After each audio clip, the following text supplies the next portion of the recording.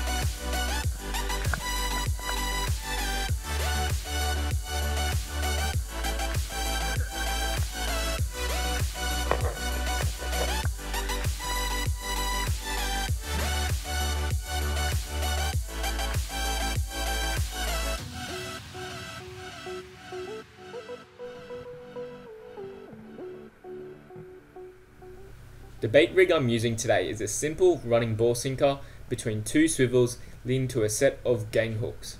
I make these gang hooks myself to match the length of the pillies I'm using for bait. I've also added swivels between each hook to allow more movement and not lock up.